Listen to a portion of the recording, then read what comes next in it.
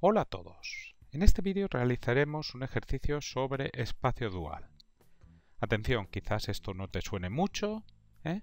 pero si has visto aplicaciones lineales, estás perfectamente capacitado para entender todo lo que voy a explicar aquí. Así que quédate por aquí que vas a aprender mogollón. ¿eh? Además, el espacio vectorial dual es muy importante. Entonces, bueno, ¿qué dice el ejercicio? Nos dan la base del espacio vectorial R2. ¿eh? Por ahora perfecto. Y ahora, pues lo que no conoces, nos piden que calculemos la base dual de esa base. Bueno, en primer lugar, vamos a trabajar con el dual de este espacio vectorial de R2. ¿eh? Y si tienes V, un K espacio vectorial, puede ser un espacio vectorial sobre R, como el que estamos considerando, entonces se tiene que su dual es el conjunto de aplicaciones f de v en k, tal que f es una aplicación lineal. O sea, que el dual es un conjunto de aplicaciones lineales del espacio vectorial sobre el cuerpo. En particular, en nuestro caso, pues R2 dual sería el conjunto de aplicaciones lineales f de R2 en el cuerpo, que en este caso es R. ¿Vale? Y entonces nosotros tenemos una base de R2, nos piden que calculemos su dual. Bueno, la base, si denotamos a este primer vector por E sub 1 y a este por E sub 2, entonces la base dual es de asterisco, ¿eh? pues E, lo mismo, pero en lugar de poner subíndices se pone superíndices, E super 1 es super 2. Estos son elementos del dual, por lo tanto son aplicaciones lineales de R2 en R y bueno, ya sabes que las aplicaciones lineales vienen determinadas por las imágenes de los elementos de una base y esos elementos de la base van a ser B. Entonces se cumple ¿eh? que al hacer E super I para I valiendo 1 o 2 de un E super J, j igual a 1, j igual a 2, pues esto es el delta ij. Bueno, esto del delta ij, esto es el delta de Kronecker, que el delta de Kronecker es muy muy fácil, ¿eh? Esto, el delta y Kronecker, delta y j, vale 1 si i es igual a j y 0 si es distinto de j. Así de sencillo.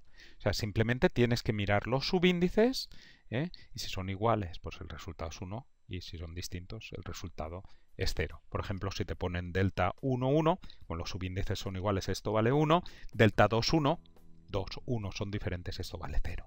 ¿eh? Delta de Kronecker simplemente observa si son iguales o no los subíndices. 1 cuando son iguales y 0 cuando son diferentes. Perfecto. Entonces, bueno, a partir de eso, como tenemos las imágenes de los elementos de una base, pues eso determina las aplicaciones lineales. Y lo que nos piden es que calculemos esa base dual. O sea, que calculemos las expresiones de super 1 y E super 2. Para ello, lo primero que vamos a hacer es, pues, escribir un vector genérico de R2. Vamos a trabajar ahora solamente en R2, el primer paso. Entonces consideramos un vector genérico xy perteneciente a R2 y entonces vamos a calcular las coordenadas de este xy respecto de la base B. Entonces este xy, pues como ves una base de R2, esto lo comprendes perfectamente, se expresa como combinación lineal, ya sabes que esos escalares son únicos, alfa por 1 menos 1 más beta por 2, 1. Queremos calcular alfa y beta para tener esas coordenadas, pues operamos aquí, alfa por 1 menos 1, te queda pues alfa menos alfa más 2 beta beta. Y ahora aquí sumamos componente a componente, alfa más 2 beta menos alfa más beta. Facilísimo. Entonces, consideramos esta cadena de igualdades, el primer vector el último, igualamos componente a componente, copiamos al revés, porque queremos calcular alfa y beta y tenemos un sistema, como sabes, tenemos alfa más 2 beta es igual a x y ahora menos alfa más beta igual a y. Sistema, pero esto es muy fácil, suma se te van las alfas. 2 beta más beta te queda 3 beta igual a x más y, de donde beta es igual a x más y partido por 3. Ya tenemos beta, ahora calculamos alfa, pues sustituimos aquí alfa más 2 por beta, que es x más y, partido por 3, esto sería igual a x, todas partes este 2 por 1, aquí tenemos alfa más, hacemos ese producto eh, de fracciones, numerador por numerador, denominador por denominador, denominador por denominador, 1 por 3 es 3, numerador por numerador, 2 por x más y, te queda 2x más 2y, propiedad distributiva. Esto sería igual a x, entonces ahora pues pasas esto a la parte derecha, tenemos que alfa sería igual a x menos 2x más 2y partido de 3. Esto lo pones partido de 1, mínimo común múltiplo de los denominadores de 1 y 3 es 3. 3 entre 1, 3 por x, 3x. 3 entre 3, 1 por 2x más 2y, 2x más 2y. Y entonces esto pues te quedaría. ¿eh? Vamos para la parte izquierda. Bueno, como un denominador 3, ahora 3x menos 2x más 2y, menos afecta a toda la segunda fracción, afecta a todo el numerador, mucho cuidado. 3x menos 2x más 2y, cambia el signo de todo, menos 2x menos 2y, a ver si te vas a equivocar con esto, una vez que ya eres todo un profesional.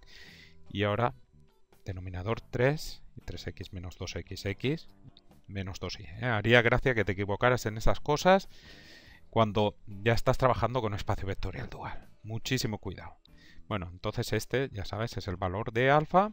Y bueno, entonces vamos a poner esa expresión aquí arriba. ¿eh? Este xy se expresaría como, ¿eh? aprovecho esta expresión que tenemos aquí, alfa pues eso es x menos 2y partido de 3. Esto por 1 menos 1, que ya sabes que es sub 1, así mola más. Más ahora el beta, ¿dónde estás beta? Aquí. x más y partido de 3 es sub 2. Genial. Y una vez que tenemos esto, vamos a borrar todo lo de abajo, ya estamos en condiciones de calcular E super 1 y E super 2. Fíjate que lo de espacio dual, lo único que tienes un poquito de concepto, pero ya trabajas con aplicaciones lineales y pues ya es tirar de lo que ya sabes. Bueno, borro esto, si quieres repasar pulsa pausa, borro. Pues perfecto, entonces en primer lugar vamos a calcular E super 1. ¿eh? Bueno, nos vamos a la expresión esta que tenemos ahí pues tenemos las imágenes de los elementos de la base, B, E sub 1, E sub 2, tenemos que es super 1 de sub 1, fíjate, como tienes arriba y abajo el mismo índice, esto vale 1, delta de Kronecker, y es super 1 de sub 2, ¿cuánto vale esto? Pues tenemos distinto superíndice e índice, esto vale 0. Genial. Entonces, aplicamos es super 1 a ese xy. Es super 1 de xy entonces lo que hacemos es sustituir esa expresión de xy que hemos obtenido. Sería e super 1 de x menos 2y partido por 3 e sub 1 más x más y partido por 3 e sub 2. Y entonces tenemos la imagen por una aplicación lineal de una combinación lineal de vectores, ya sabes, imagen de la suma suma de las imágenes, los escalares salen fuera. En definitiva, esto es x menos 2y partido por 3 es super 1 de sub 1 más x más y partido por 3 es super 1 de sub 2. Bueno, esto te queda 1 y esto te queda 0. Entonces, esto se va y esto de aquí, pues te queda simplemente esto de aquí. Entonces obtenemos que es super 1 de x y es igual a x menos 2y partido por 3. Es esto. O sea, que era esa coordenada respecto de sub 1, ese primer vector. ¿podemos ponerlo directamente? Hombre, uno cuando está muy muy suelto sí, pero ponerlo directamente sin razonar, pues ¿qué quieres que te diga? Es bastante mecánico. Ya sabes que hacer las cosas mecánicamente a corto plazo puede estar bien, pero después lo lías todo y no tienes ni idea. Así que, ¿se puede poner? A largo plazo sí, cuando lo dominas, por ahora no. De hecho, a mí me gusta hacerlo, para decirte yo que lo entiendo todo esto perfectamente, está facilísimo para mí, pues hago todos los pasos para que tú lo veas. No lo vas a hacer tú. Genial. Vamos ahora por el E super 2.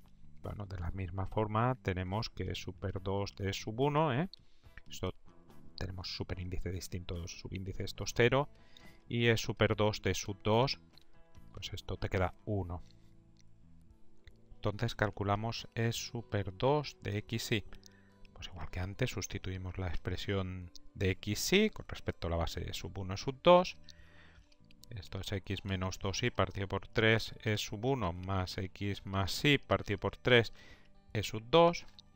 Esto, pues linealidad, la suma suma de las imágenes, saca los escalares fuera.